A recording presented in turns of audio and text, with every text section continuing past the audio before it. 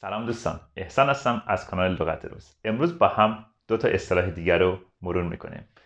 اولین اصطلاح am längeren Hebel sitzen am längeren Hebel sitzen این یعنی کسی به کسی میگن که اون تصمیم می‌گیره یعنی اون حرف اول رو می‌زنه. مثلا توی مدرسه به معلم میگن توی کلاس به مدیر میگن توی مدرسه یا به رئیس میگن توی دفتر. یا به کسی که تصمیمات رو می‌گیره یا اینکه رئیسه یا اینکه اون تصمیم رو واسه چیزی می‌گیره. längeren Hebel sitzen توی مثال بیاین ببینیم چه جوریه.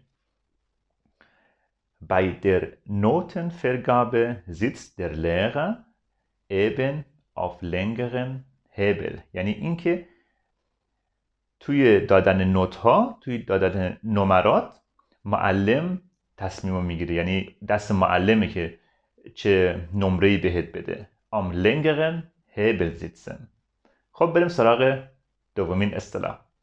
auf den Hund kommen auf den Hund kommen این اصطلاح زمانی میگن وقتی کسی حالش خوب نباشه یا اینکه توی یه چیزی ناراحت باشه. مثلا میگن ich bin echt auf den Hund gekommen. Ich bin echt auf den Hund gekommen. یعنی اینکه حالم خوب نیست. اشتهام از دست دادم. آپتیت ندارم. یا اینکه ناراحتم. Auf den Hund kommen. Auf längeren Hebel sitzen und auf den Hund kommen.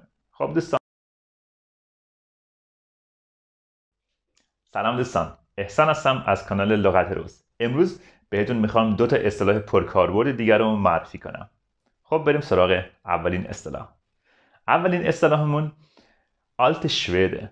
آلت شویده. این اصطلاح خیلی توی روزمره به کار می‌برن خیلی ها این معنیش به این زمانی که کسی از یه کار یا از یه موضوعی متعجب میشه جا می‌خوره میگه آلت شویده.